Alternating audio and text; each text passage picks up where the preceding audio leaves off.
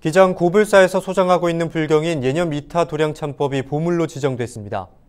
예년 미타 도량창법은 아미타불에게 예배하고 모든 죄업을 참여하며 극락왕생을 기원하는 의식집으로 이번에 보물 1165회 이후로 지정된 건 10권 두 책의 전권 중 권 1에서 5의 1책에 해당됩니다.